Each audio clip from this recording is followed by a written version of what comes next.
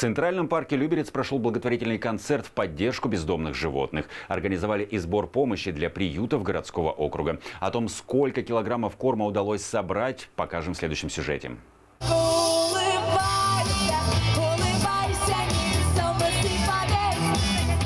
Ежегодно на третью субботу августа приходится праздник, посвященный четвероногим, которые живут в приютах. Благотворительный концерт в Центральном парке организовали представители местного отделения партии «Единая Россия».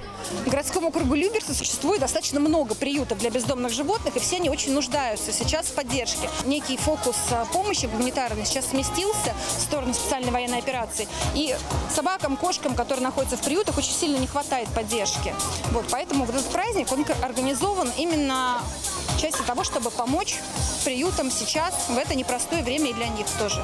В рамках благотворительного вечера выступили вокалисты. Для детей организовали мастер-классы по изготовлению фигурок животных из бумаги и надувных шариков. Жители городского округа приносили корм, лекарства и игрушки. Среди добровольцев Анастасия Ильяшенко. Ну, вообще, я очень люблю животных. У меня постоянно были кошки, собаки дома.